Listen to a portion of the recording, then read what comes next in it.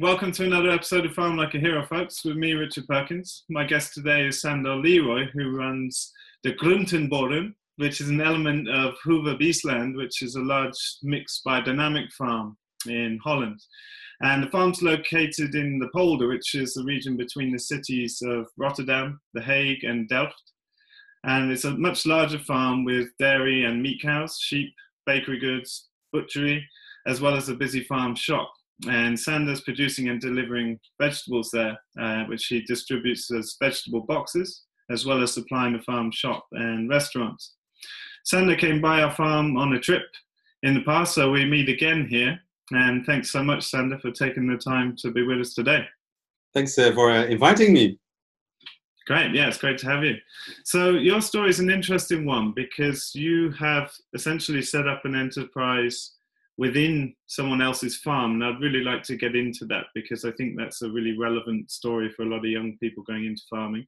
But maybe we could go back a step and can you explain how you got interested in farming in the first place? Did you come from a farming background or? I'm the first one in uh, in my in my family who uh, who started uh, in farming, and uh, the interesting uh, to farm started i think a long time ago um, in my younger days as a as a child uh, my parents had gardens. So that was I, I, think that was the first step. And then i became older after different kinds of, of, of studies uh, and different kind of jobs. I noticed i have to be more outside. And um, the interesting the interest of food came up uh, uh, years ago uh, just walking through the supermarket, see what what is laying on the shelves, and uh, reading the, the, packages and getting a little bit depressed of all the ingredients, what's inside them. Uh, it was more for me more interesting to know where is the food really come from, mm. and besides that, I also tried to find a new study uh, to educate myself to to learn more, and uh, then I I came up with an internet site, and it was a school, the Warmonderhof. It's a biodynamic uh, school, and I went to an open day, and actually I fell in love with farming. I think that's quite a well-known school in Holland, isn't it? With a lot of international students coming there. Is that right? Yeah, yeah. It's the it's the only school in Holland uh, for biodynamic agriculture. I think uh, German don't even have one school like that.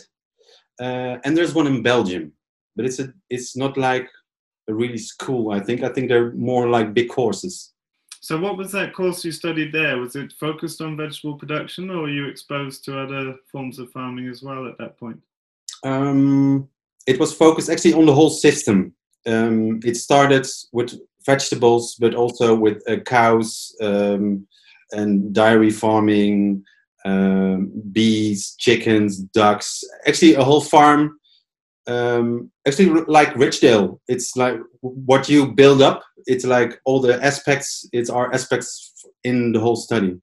And then what happened from there? Like I imagine you're in a similar situation to most young people. I think the land prices in in Holland are astronomical, right?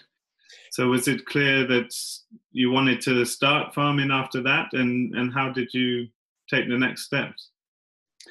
Um, it depends where you live in Holland, how high. The prices of land are quite high, uh, um, but you can rent land uh, long term. That's a possibility, uh, but then it's not becoming yours. And probably you can rent it for 10 years or 15 years, mm. and then maybe it stops.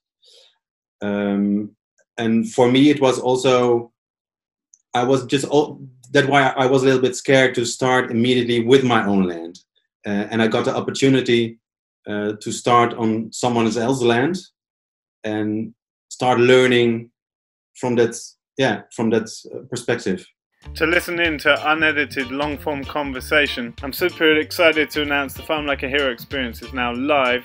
Our 2020 special features more than 70 interviews with Europe's best regenerative farmers in long form conversation, weekly Q&A sessions with myself, as well as a private Facebook community. Our Epic Hero membership is now only open until June the 11th, so join now at farmlikeahero.com and we'll see you in there.